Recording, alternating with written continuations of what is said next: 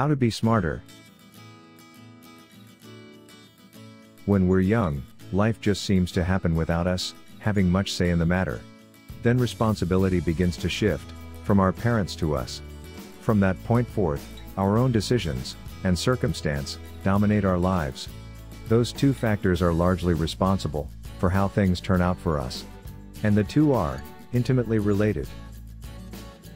We often observe how successful people make their own luck. But, that's really just another way of saying, they make smart decisions, when it comes to taking risks, and creating, or capitalizing on opportunities. So success in business, dash and in life, I would argue, is primarily, a function of making, smart decisions.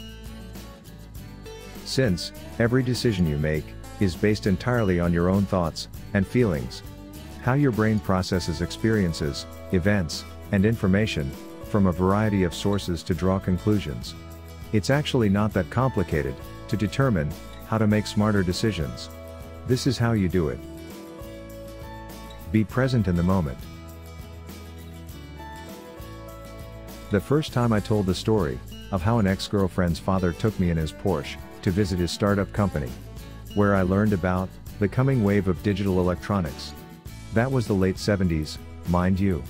I remember thinking, what if I hadn't been paying attention, to the guy?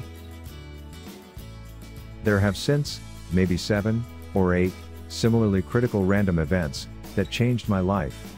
And if I hadn't been engaged in the moment, they would have simply passed me by. I never even, would have known, I missed them. And where would I be today? It's a sobering thought. Trust your instincts. Using the same example, what if that simple event hadn't resonated with me the way it did? What if I hadn't jumped right on it without hesitation and capitalized on the opportunity? I never would have gone back to grad school, gotten into the high-tech industry, and had an awesome 20 plus year career. When it comes to decision making, listen to what smart, knowledgeable people say. But, in the end, you have to make the right call. If you learn to trust your gut, you won't hesitate. When what you're hearing is right. And when you do hesitate, you'll know it isn't right. Think critically. The more you allow yourself to be overloaded by information, interrupted by communication, and bombarded by distraction, the less time and attention you have left to focus on what really matters and question the accuracy, efficacy, and applicability of what you're learning and experiencing. Let me say it another way.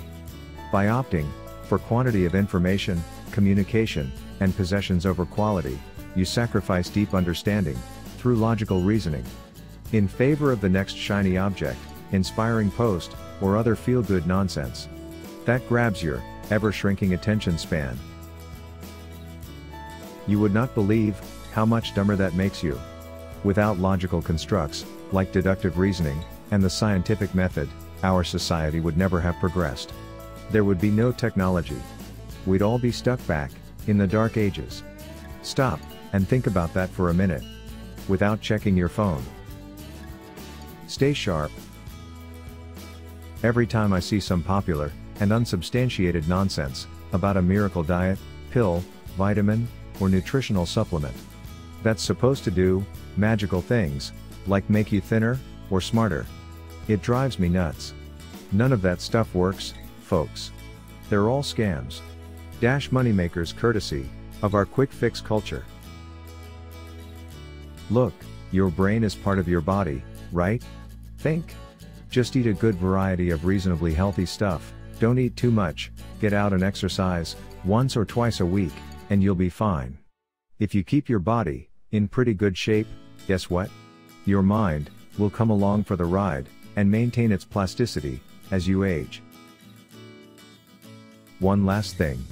There's been some negative stuff about caffeine from questionable sources lately. Don't believe it. It's an amazing and, read my lips, naturally occurring stimulant. For the vast majority of you, a cappuccino, or a few cups of tea a day, will not harm you. And it will make you sharper. No kidding. As with anything, just don't overdo it.